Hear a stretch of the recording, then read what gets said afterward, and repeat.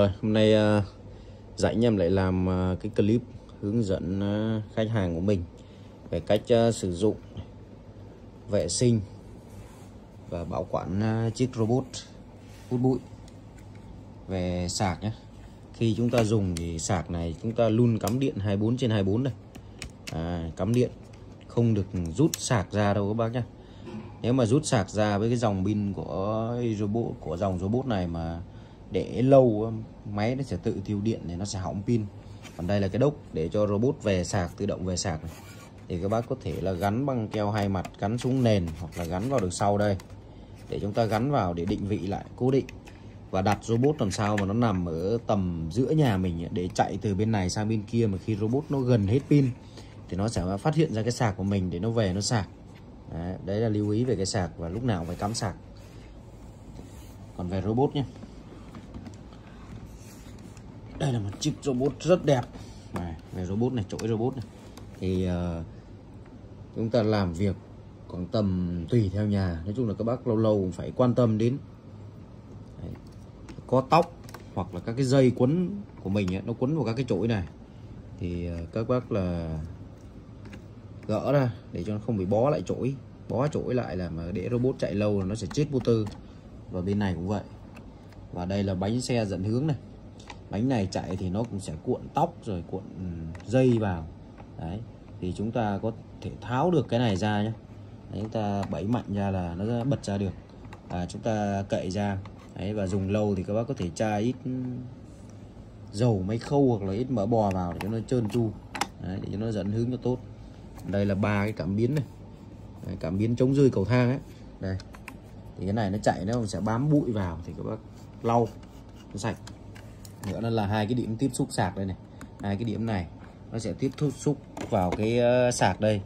Đấy, nó chạy thì nó có thể cà vào những các cái vật nó bám dính vào đây thì khi nó vào sạc nó sẽ không tiếp xúc được sạc nó sẽ báo lỗi.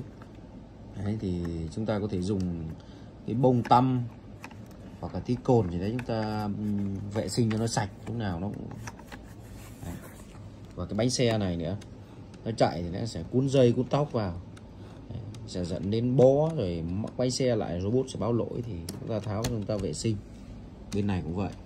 Và giữa là một cái chổi bụng này. cái này là vừa bằng cao su vừa bằng các cái sợi cước để nó cà xuống nền.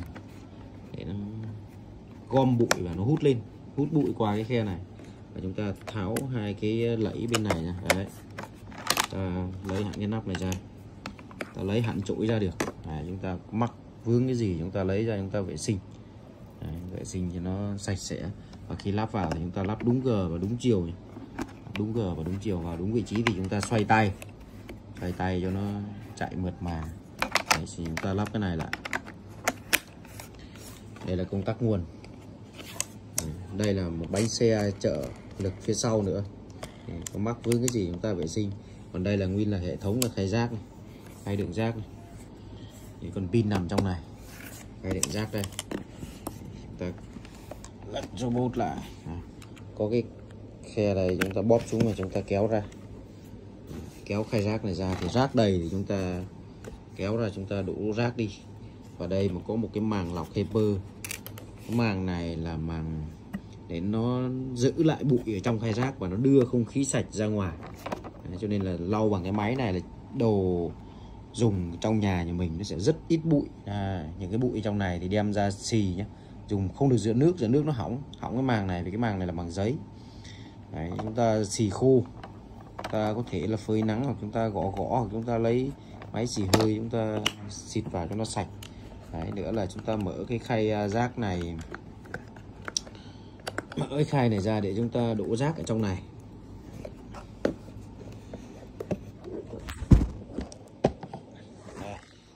Đấy, chúng ta mở cái nắp này thì rác nó sẽ nằm ở trong này ta cái này. Đấy. Rác nó sẽ nằm trong này. Và trong này có một cái màng đây nữa. Đấy, giữ cái bụi mịn lại. Thì chúng ta vệ sinh cái màng này. Cái màng này thì chúng ta có thể là giữa giữa giữa nước được. Nhưng mà có thể là chúng ta dùng cái bàn chải đánh răng cũ ấy, bỏ đi. Đấy, các cái rác trong này thế. Chúng ta dùng bàn chải đánh răng cũ thôi. Quét tay trái ta bỏ rác đi xong ta lại đẩy nắp lại. Nắp lại lắp vào robot. Robot đây là nút bật chạy.